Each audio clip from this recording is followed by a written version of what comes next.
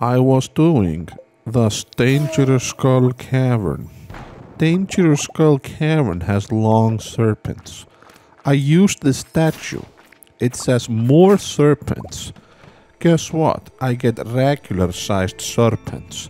Isn't that strange? I'm in Dangerous Skull Caverns, which only has long serpents. But the statue gave me regular sized. I'm very unsatisfied customer.